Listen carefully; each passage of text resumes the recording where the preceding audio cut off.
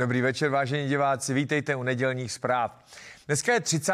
dubna, takže jsou čarodejnice, což je takové magické datum mezi jarní rovnodenností a letním slunovratem. Čarodejnice se od jak živa slaví, je to významný svátek. Já nejsem žádný expert na tyhle ty svátky a rituály a zvyky, ale co vím, tak už staří keltové zhasínali staré ohně a zapalovali nové jako symbol eh, novosti a tak.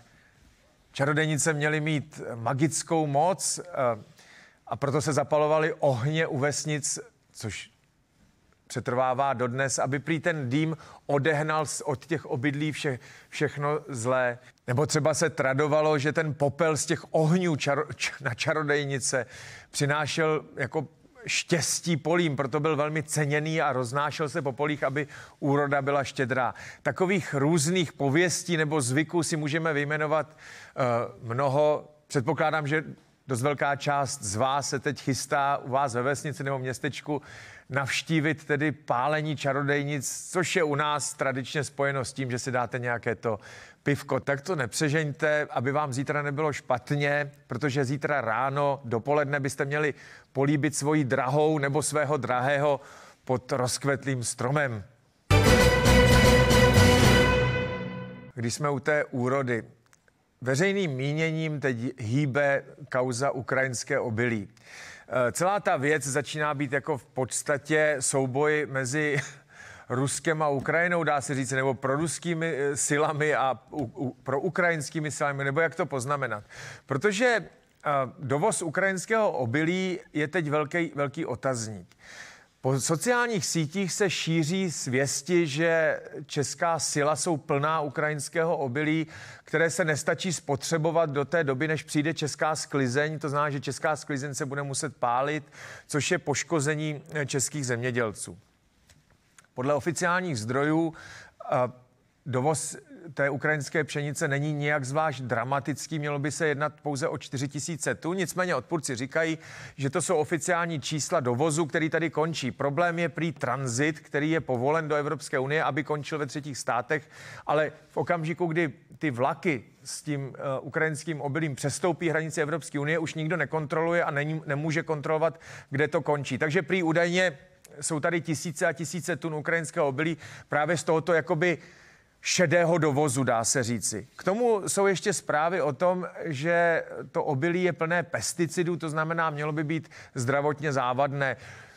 Viděli jsme také celou řadu televizních reportáží, které si vždycky najdou nějakou pekárnu, která tam dá ceduly nepečeme z ukrajinského obilí a podobně. Tak tyhle ty vášně by se měly klidnit, protože podle všech kontrol potravinářské inspekce a dalších orgánů ministerstva zemědělství eh, žádné pesticidy v tom ukrajinském obilí neobjevily. Což nemění nic na tom, že o tom je potřeba debatovat, udělat nějaká rozhodnutí, aby čeští zemědělci poškozeni nebyli. To, to dává logiku, ale měli bychom říkat pravdu.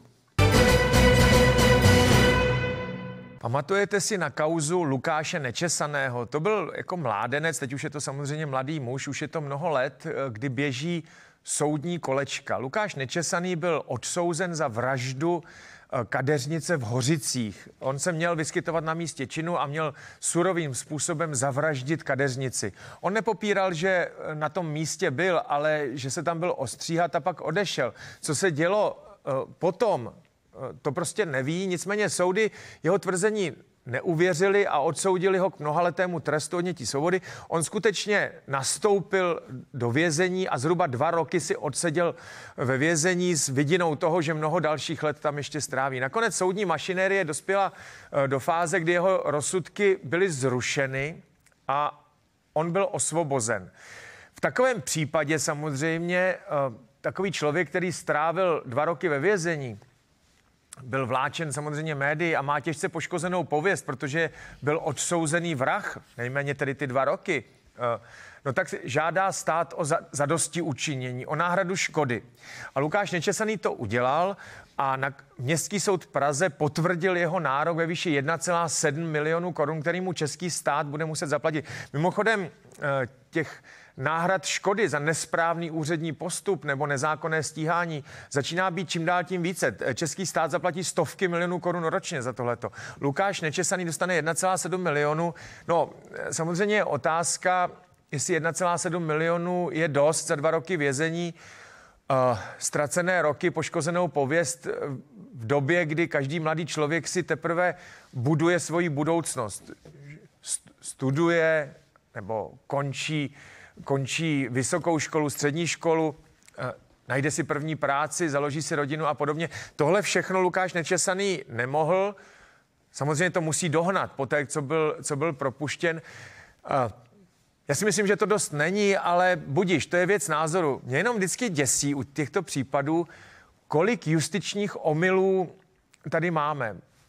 Rodina Lukáše Nečesaného měla prostředky na právníky, na různé znalecké posudky, na podávání dalších a dalších návrhů soudům, dovolání, stížnost ústavnímu soudu a podobně. Celá řada lidí samozřejmě, kteří na to nemají prostředky nebo vzdělání. Já samozřejmě budu doufat, že justičních omylů není mnoho, i když nějaké určitě teda budou.